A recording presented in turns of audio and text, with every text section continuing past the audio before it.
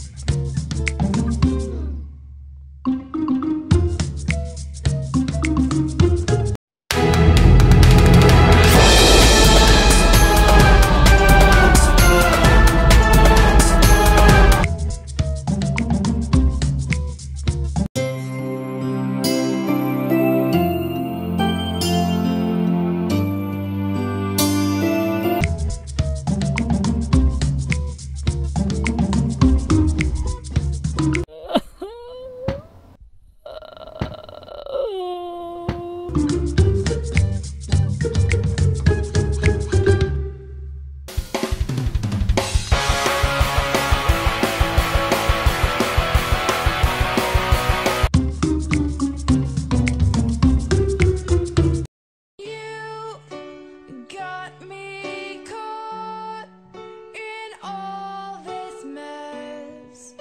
I guess we can blame it on the rain.